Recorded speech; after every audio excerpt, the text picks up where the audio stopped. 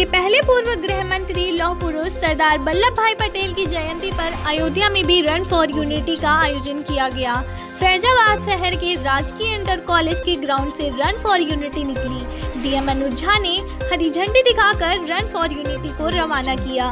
Run for unity कस्बा बाड़ा, टीका बंगज सिविल लाइन व पुष्पराज चौराहा होते हुए वापस राजकीय इंटर कॉलेज पहुँची। राष्ट्रीय एकता और अखंडता के रूप में सरदार वल्लभ भाई पटेल की जयंती मनाई जा रही है। जिलाधिकारी अनुज झा ने बताया कि रन फॉर यूनिटी में लगभग 1000 बच्चों ने प्रतिभाग किया, जिसमें स्टेडियम के खिलाड़ियों ने भी शिरकत की। ज़िले के सभी कार्यालयों व थानों में भी सरदार वल्लभ भाई पटेल की जयंती मनाई जा रही है। डीएम ने बताया कि जिस तरह भारत देश आज़ाद होने के बाद देश के प्रथम गृह मंत्री लौह पुरुष सरदार वल्लभ भाई पटेल ने छोटे छोटे रियासतों को एक कर एकता को दर्शाया, उसी एकता की आज भी ज़रूरत है।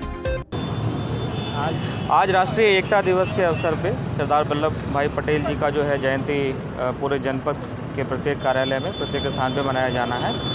और इसी के तहत सुबह का पहला कार्यक्रम जो है, ये रन फॉर यूनिटी का आयोजन किया गया था, जिसमें एक हज़ार के करीब बच्चों के द्वारा प्रतिभाग किया गया है। स्टेडियम के भी कुछ जो हमारे खिलाड़ी हैं, उन्होंने प्रतिभाग किया है, कई विद्यालयों के द्वारा प्रतिभाग किया गया है।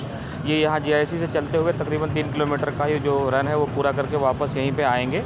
और इसी के साथ जो है, इस रन के साथ वहाँ बच्चों को जो पर्सपेक्टिव है राष्ट्रीय एकता दिवस का, वो भी दिया गया कि किस प्रकार से सरदार पटेल ने पूरा आज़ाद भारत भारत जब आज़ाद हुआ था, उस वक्त जितने भी रियासत थे, उनको एकीकृत करके एक भारत बनाया और उसी तरह की एकता को प्रदर्शित करने की आज आवश्यकता है समाज में। जो एकता के जो बल हैं, उन्हीं को बलवान बनाने की ज़रूरत है। तो इसी पर्सपेक्टिव से उनको जो है ये पूरा कार्यक्रम में प्रतिभाग करने के लिए उनको उत्साहवर्धन किया गया। सभी बच्चों को इसमें प्रतिभाग जो करेंगे, उनको सर्टिफिकेट भी दिया जाएगा।